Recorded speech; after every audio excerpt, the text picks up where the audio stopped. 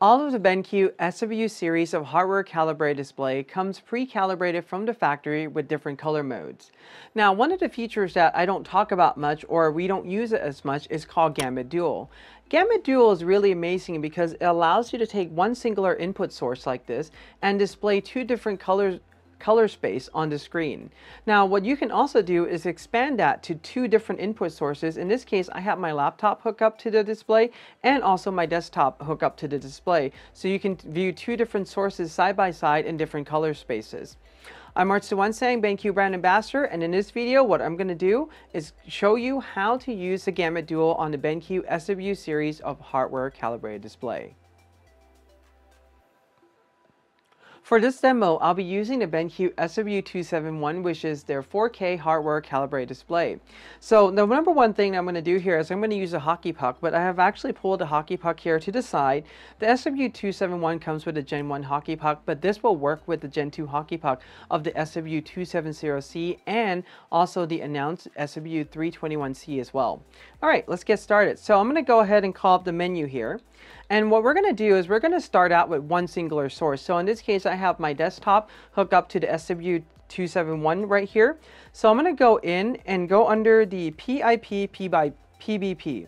What PIP stands for is picture in picture, PBP, picture by picture. So you can do two different modes here. So what I'm going to do is start out with a picture by picture to kind of show you what that looks like. So let's go in and do that.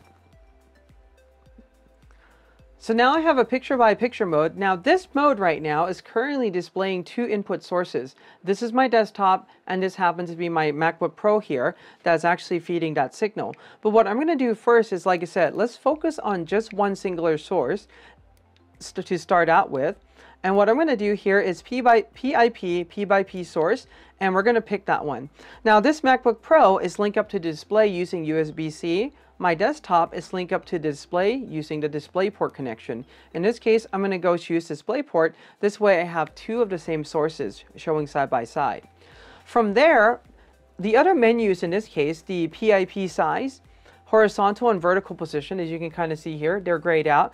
But what we can do here is we can go in and change the color gamut. This is changing the color mode. So right now, I'm viewing both of these in Adobe RGB. But let's say I'm going to go into full screen mode here, and I want to see side by side how they look in Adobe RGB and then compared to sRGB. So let's go ahead and take a look at that we can see the differences right away where Adobe RGB shows much more saturated colors, especially in the green, and sRGB shows a lot less saturated colors in this case, or we can also see in Rec 709 how that would look. Now Rec 709 is very similar to Adobe RGB in terms of color space, in terms of the actual space that it has. It's just wedged a little bit differently in the color spectrum because it's designed more for videos.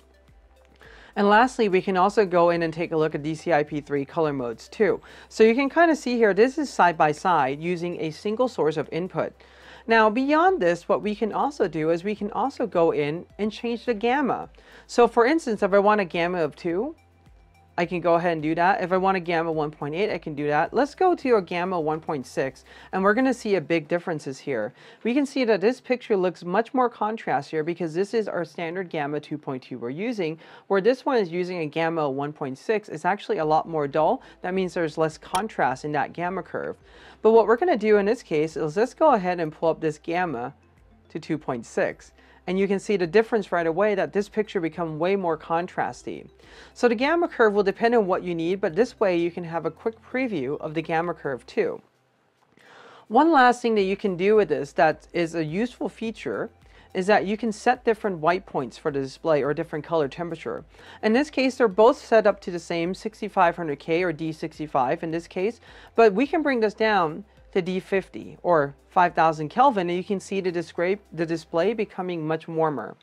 And if we go to the 9300 Kelvin, the display becomes much more cooler because the higher, the higher the color temperature, the cooler the color space is. So in this case, we'll go back to D65 and you get an idea now how we can do this as a side-by-side. -side. What I'm going to do now is restore this to Adobe RGB for both of them what we're going to go ahead and do is change this to PIP or picture in picture. So let's go ahead and do that. So with the picture in picture mode, what we get here is a smaller picture inside a larger frame. Now this is using one singular input source still, but what I can do now is go in and change this right here to different color modes still. So let's go ahead and do that. But before we do that, there's a couple things you can do here. Right now, I have this picture-in-picture -picture size to large. What I can also do is medium or small. So depending, depending on how big you want the input, the second source to be, or in this case, the same picture to be, you can go ahead and change the size dynamically on the display. Let's go ahead and keep it at medium for the time being. What I can also do in this case is also change the horizontal position around the display. So let's say if I have it in this corner and is blocking some of the content I'm trying to view or edit, this would be a great way to kind of move it out of the way. You can also beyond just the horizontal position, you can also do the vertical position too. So let's go ahead and bring that down a little bit here. So you can do a couple of things with this. I'm going to go ahead and leave that right where it is. And again, we can go in and preview the different gamuts still. We can do Adobe RGB. They're both on there right now. But let's go ahead and take a look at this in sRGB so you can kind of see the colors becoming a lot more less saturated. Rec 709, DCI-P3. DCI-P3 tends to bring back a little bit more of the green compared to, for instance, the Rec 709 or the sRGB in this case, and you can kind of see the difference between the two there.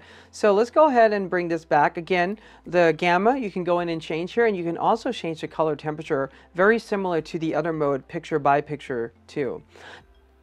Now in this case, what I want to do is go ahead and change the input source so that it no longer just takes the input source from my desktop, but I want to do two input source. So it's going to be my desktop as a reference there, and the secondary input source here is going to be from my laptop.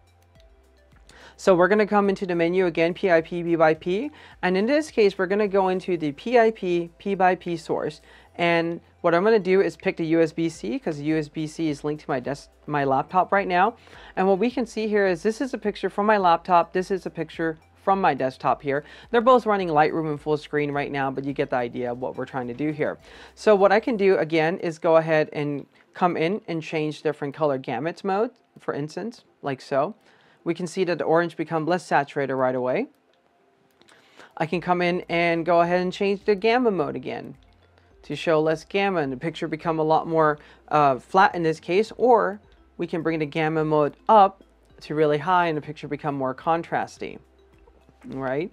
And lastly, you can also still go in and change the color temperature. So every single standard thing that I've kind of show you here will apply in both one input source or two input source. Now here's the case. I'm curious of, of how you guys are using this two input source on your BenQ display. If you're using this and if you have a creative use for this, please leave them in a comment below because I really like to hear how you guys are using this. All right, so what I'm going to do here is based on these two input sources, I'm going to do one more thing here is that I'm going to go ahead and put this two input source here to do a picture by picture in this case rather than a picture in picture like this. So we're going to go ahead and do that. And now I can see two input source side by side. Now, one of the reasons I think someone might use their BenQ SW series display in this kind of a mode is, for instance, if you're editing a reference color, for instance, if you're working with a brand that you want that color to be consistent throughout, sometime bringing in, for instance, a different input source as the main reference, and then using this mode to using another computer to pre preview different colors may be one way to do it. That's part of a thing that I think will work. Um, to be honest with you, I think is a really cool feature. This is one of the features I don't touch on too much in my review or you know on my daily workflow but occasionally I do come in this mode and preview the picture side by side from a singular input source to see how my picture would look in different color modes.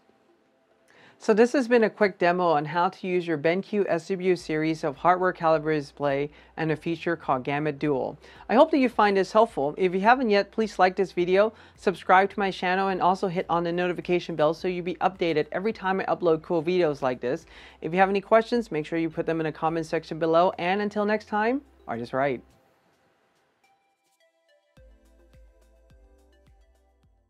has a color mode called Gamut Duo. Apparently, I did that one first. like blank, like who am I? Oh, oh yes, BenQ, yes, yes. BenQ one more time and then do. Okay. Nice. Cool. Okay. All right, YouTube. YouTube. Jinx, you owe me a latte. Not getting any. Every time I upload really great content, and I don't know where I'm going with that. Let me start over. Let it flow. Let it Oh, it's coming out. Don't. In 20 second. Frozen 2.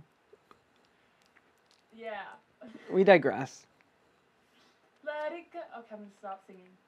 Woo! Check it. Yeah, we're done. Clap.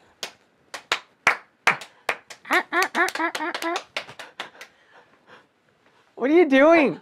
Trying to squeeze me? Oh, let me pull you up. Okay, fine. Wait, go down. And then I'm gonna pull you up Uh huh. and gonna bring you closer to the screen. Pulling you up and bring you closer to the screen. Walk to the screen. Ooh, a little faster. Okay.